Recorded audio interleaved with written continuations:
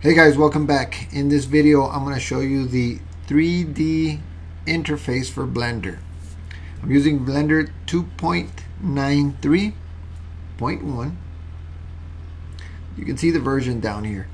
Um, and we're going to get into 3D stuff. And so what I like to start, I always like to start uh, with the interface and explaining the interface to you guys. So here we go. Um, way at the very top left, course, is the Blender menu. And you can do about Blender and it gives you the the version and all that stuff, good information uh, about Blender and uh, the system. And then you've got the main menu, File, Edit, Render, Window, Help. And then you've got layout settings. What are layout settings? It's exactly how the whole interface is laid out for you. Uh, this is called layout and it's the default layout for Blender. We're going to go over all of its components, but I'm just going to show you what some of these look like. If You click on modeling, this layout is done. For modeling, you can see that the timeline is gone because you're not going to animate anything. You're just simply going to model. Uh, sculpting, all the sculpting tools are here and you can start sculpting. Uh, UV editing, of course the UV editor is open. Texture paint, shading, of course the, sh uh, the shader uh, is open. Animation, uh, the dope sheet and the timeline are here. Uh, rendering, compositing, uh, geometry nodes, scripting. you've got the I think this is the Python console and a text editor. Let's go back to layout so that I can show you what else is available to you. Uh, right here, um, this is the actual what you're seeing in this window. You can choose whatever you want to choose in this window. Right now, we've got a 3D viewport. That's what this window is for. And you'll see this little icon on the top left of every window this is the outliner. You can see that little icon right there corresponds to the outliner. Properties and the timeline. This is the timeline. Um, next to it is the tool properties. Here we've got the transformation orientation. How are you going to orient this object? Uh, this is the pivot point, snapping options, and then we've got the fall off uh, proportional fall off settings uh, way out here is your scenes and layers. Underneath this is what you call the 3d uh, viewport. Uh, to the right of this is the toolbox with the select the 3d cursor the move tool rotate scale and the transform options.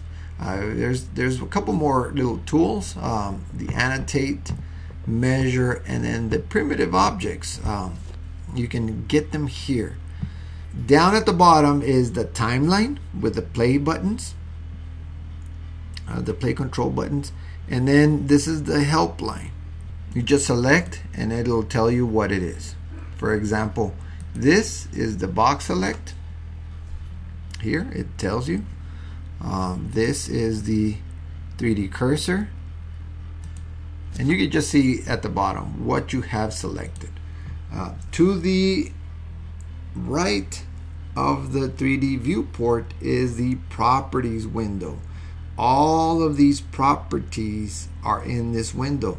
You can start off by the tool properties. And if you hover the mouse over something, it will give you what that object is. This is the render properties.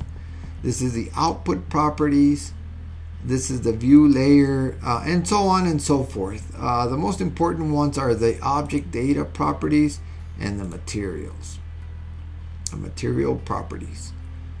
Uh, and on top of this is the outliner and it's exactly what it is. It's called an outliner. It's an outline of what you have in the scene. Right now we have a camera, a cube, and you can see them selected. You can select the objects here or you can select the objects right on the viewport.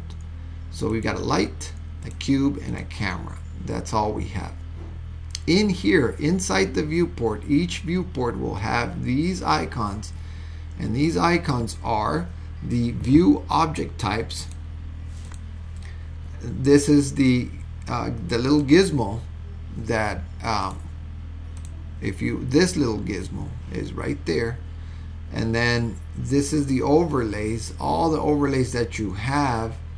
And then this is the how you view the uh, your your window. For example wireframe. This is wireframe view. Uh, viewport shading as wireframe. And then this is solid mode.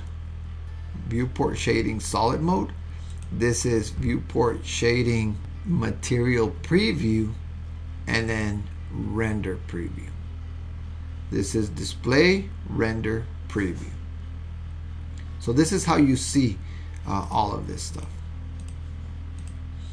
And, and again this last one is x-ray. So when you want to you want to select x-ray when you want to uh, for example click through an object uh, right underneath that is a navigation. You can rotate your scene with this. You just click inside of it in the gray area, click and hold and then move to rotate the scene. This is the zoom in and out. And this is the pan. And then this is your camera and then this toggles between an isometric view and a perspective view. And you can see the little icon. All right, and that's everything. That's everything in the view. I am going to show you one little um, keyboard shortcut, and that is the Control Option Q to give you the quad view. Quad Q for quad view. Uh, and so you've got the top view, you've got the front view, you've got the uh, right side view, and then the perspective. Any of these windows have these uh, navigation tools. You, you can click here and in the gray area and start rotating it. You can zoom in and out. You can zoom in and out of this one and they're all independent views. If you want to go back to the perspective, control option Q and that gets you back to the perspective view.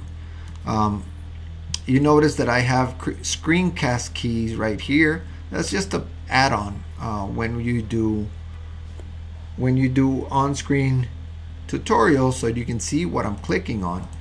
If I click on the right mouse, the left mouse, right mouse, and even the middle mouse, but you can see them here.